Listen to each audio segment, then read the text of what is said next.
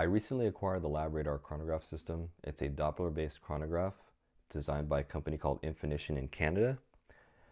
So when I say Doppler radar, it pretty much means that it pushes out Doppler waves, Doppler radar waves out towards the target and it tracks the bullet in flight as it you know travels so it uses radar waves to detect distance and then calculates time and which gives you your velocities this is much different from a traditional optical based system which uses light sensors on the unit and the bullet has to pass over those sensors in order for it to detect or, or to, for it to calculate the, the bullet velocity.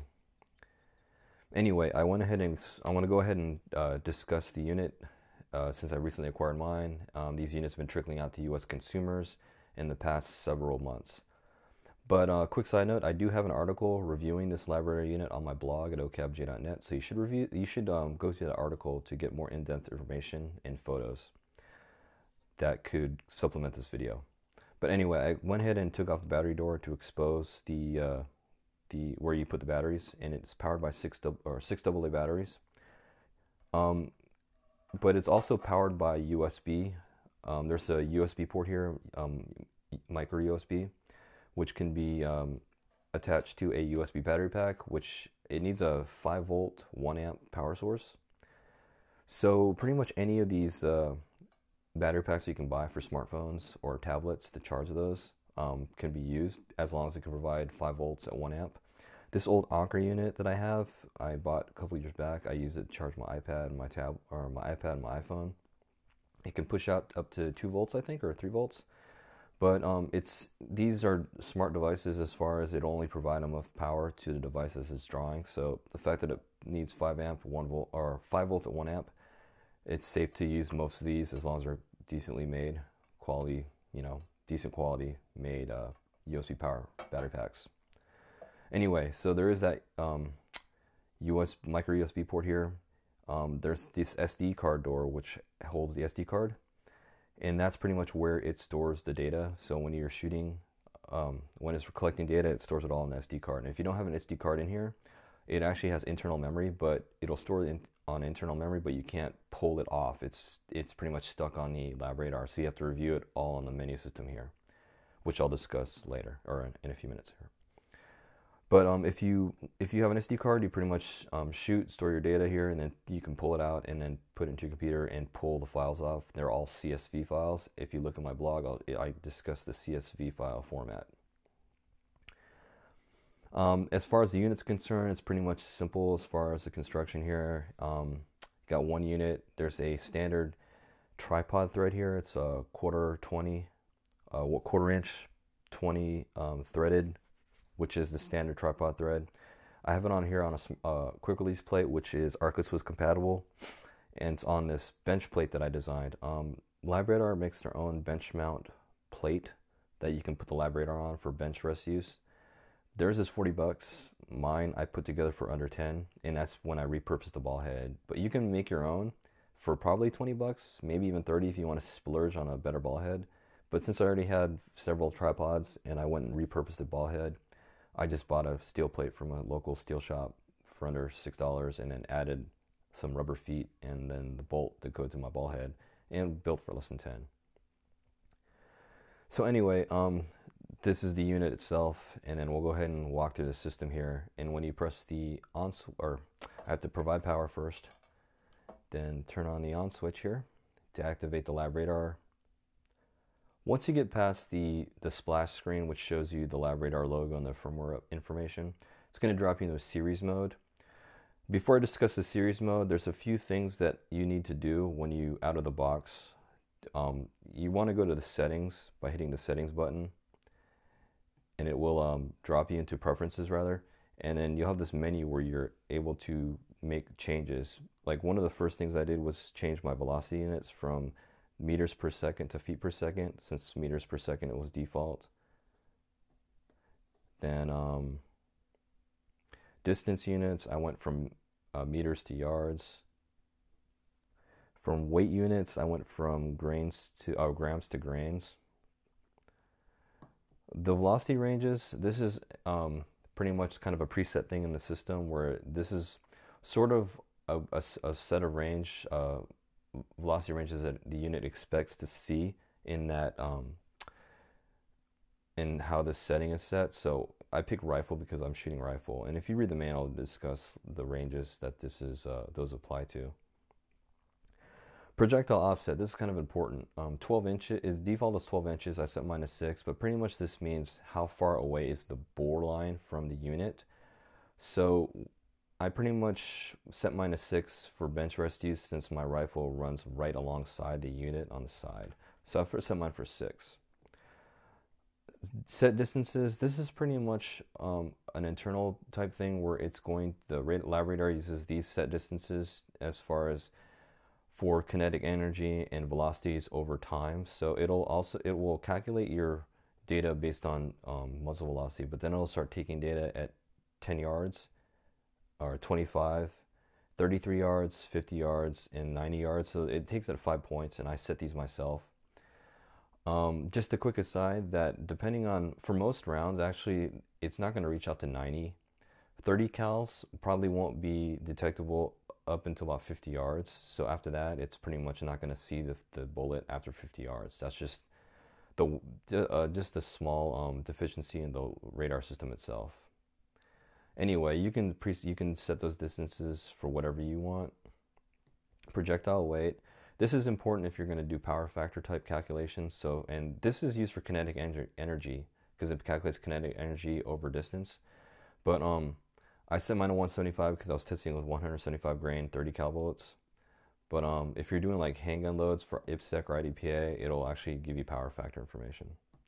So this arm time deal is just pretty much how long it's going to stay armed before it it'll um if it doesn't detect any more shots, it'll just kind of shut off the radar the radar wave so it doesn't waste battery. So I'd set mine for 240 seconds since I'm powered off of a USB pack. The screensaver is pretty much 60 seconds. That's when, if ever I'm talking and it blanks out, it's because there's a screensaver for 60 seconds. When it's like idle, it'll just turn off the LCD. The trigger source, this is pretty much what triggers the unit as far as when it should start tracking the bullet path. So trigger just means the internal microphone, or there's just also this other external microphone uh, port here for peripherals, which I don't think LabRadar's released yet. But then you can also do Doppler based, which is not used for uh, center fire, I don't recall. Then trigger level, this is pretty much the sensitivity. Um, I have mine right now set to two because actually, if you set it to one, which is which is the highest, it actually almost guarantees that it's always going to track correctly if you're the only one on the range. If you're shooting next to people, you're probably going to have to dial that down to like two or even three. If there's other people on benches you know, depending on how your range is designed, if they're in close proximity to you, their gun might trigger the LabRadar unit to start reading or start tracking a bullet. Um, this is kind of uh, the frequency in which the radar will operate, and I don't really mess with this. If you need to, you can, but read the manual on that information. And then transmission power, right now I have mine set to standard. And then system day, system time, and then factory reset, those are self explanatory. Anyway, so I'm going to go and get out of preferences here. And now we're back into to the series view or the series mode. So pretty much you can see here that I have data already on my card. Um, the most recent series I shot, I can tell you right now, these were um, 175 grain Berger 30 cal OTM tacticals with 44.0 grains of Hodgdon Varget out of Lapua brass with CCI BR2 primers. So anyway, this the LabRadar is telling me on this series I have 20 shots fired. It gives me my average, which was 2747 feet per second. My high was 2760 feet per second, and my low was 2733 feet per second. Extreme spread was 28 with an 8.6 standard deviation. Pretty cool. Um, as far as the data, it's already calculated for you. I mean, granted, you can do this all by hand. I've always done it by hand. Um, whenever I read off my my old shooting chrony optical base system, and and I always write down my data by on paper just out of habit. So um, I can do those on my own on these calculations, but it's just nice to have these reports already done for you, and you can review them real time while you're at the range. So anyway, let's just say I'm at the range and I want to start a new series because I'm going to test like a new set of bullets or a new set of or a new set of ammo or cartridge or ammo that I loaded. I'm going to go hit the series button, which asks me, do you want to start a new series? I'm going to go ahead and say yes. And now I'm going to start a new series 13, no shots, right? That's the number of shots is zero. So now I want to actually get into the armed mode. So I'm going to hit the um, this uh, the armed button or the arm button, which it's off screen right now, but it's pretty much where the blue light is at, or above this blue light. And I'll go ahead and pan out for this real quick so you can see it. So I'm going to go in arm mode. Now armed mode shows me, now puts me into a, the mini system where I'm now ready to start receiving um, chronograph data. But it's technically arm, not armed yet. So what I'm going to go ahead and do is hit the arm button again and that turns the light orange. This means that the lab, the LabRadar unit is actually putting out radar waves. And here it's going to start receiving data once it starts tracking.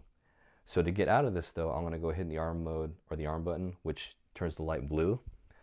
And so this is, you're still in arm mode. And this is one of the quirks that I'm mentioning regarding reading the manual. When I was at the range, um, trying to use this without reading the manual, I was trying to start a new series after I fired my shots. I didn't want to review my series, but I was trying to start a new series on this in this mode.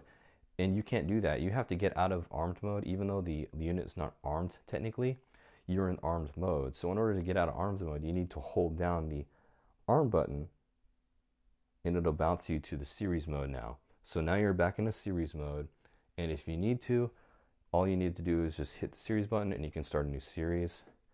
Say yes, and then you're gonna hit the you're gonna hit the armed mode button again to bounce you back to armed mode. So that's how you're pretty much going to have to navigate to and from the different modes on the LabRadar. Again, it's very intuitive to use except for that one little quirk that you kind of have to read the manual in order to understand that you need to hold down the armed mode while in or hold hold down the armed button while in armed mode to jump back to series mode. Anyway, while I'm in series mode, I'm going to go ahead and discuss one little issue regarding the false positives that you might get with the unit. So again, this unit is triggered off of the sound of the shot. So when I looked at the preferences, I kind of, uh, sorry, preferences.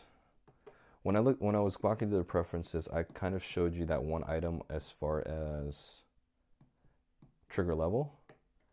So if there's other shooters on the line, which I tested on a Sunday morning at my shooting range's main range, the I had it on level one, and there was the highest, most high sensitivity for the LabRadar unit, and so there was only shooters like three benches away on both sides, and actually one of them caused my LabRadar to trigger, such that it thought there was a bullet or a thought that I shot, and it was waiting to track, and it started tracking, and it didn't receive a track because it wasn't my uh, LabRadar unit wasn't aligned with the bullet path, so it didn't read the data, and so therefore it just kind of threw an error. And there's one other time where it actually did get triggered and attract a bullet. So I got two false positives. I went ahead and just went in the system real quick, set down, dialed down my sensitivity, and that solved my problem and no one else triggered it. So if you're on a busy range and there's other people next to you, maybe on the benches to your left, or immediate left or right, and they're shooting, let's say, a muzzle brake firearm, you may want to dial down your sensitivity to as much as three, because as long as your as long as your bore line is fairly close to the unit, like I I set mine to six, you should be able to adjust your sensitivity such that no one else is going to cause your LabRadar to go off and uh, start tracking uh, their own bullets or whatever. Anyway, that's it as far as my LabRadar is concerned. I really like it. The fact that I can go to the shooting range and use my chronograph any time of the day, particularly in the morning, which is when I had start was having trouble with my own my old shooting chrony optical based system. On my firing my main firing line, my main firing line at my shooting facility it's uh, the way it's constructed is the sun travels from behind and creeps up over this hill. And so there's not enough sun early in the morning when I do go to the range to use an optical based system. So what happens is I'll often have to wait till about 9 in the morning just to collect chronograph data because that's the only time when the light is starting to, to provide enough contrast for my optical sensors. But with the radar system, you don't you're not dependent on light conditions, so you can just collect data however you want. And I think this is the best way to go other, than the MagnetoSpeed, which a lot of people like, and it was out long before the LabRadar. But the MagnetoSpeed is a device that clamps onto the barrel. So that will affect POI, the point of impact. So it'll shift your POI because it's basically um, affecting barrel harmonics. So you can't shoot groups and collect data at the same time. It's nice to be able to shoot your group, and then it's a, while you're shooting your group, you're still collecting the velocity data from that from those shots. But unfortunately, with a MagnetoSpeed, you really can't do that because if you're collecting data, you have that MagnetoSpeed unit clamped on the barrel, your groups are going to be affected. So LabRadar, the unit runs for 560 retail, $560 US. Unfortunately, that's that's expensive comparatively speaking to all other chronograph systems, except for the Oehler 35P, which is arguably the best optical-based chronograph you're ever going to find, and it's highly regarded um, for the for many years.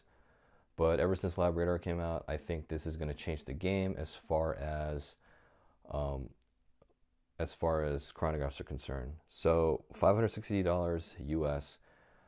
Um, if you reload, I highly recommend getting a chronograph.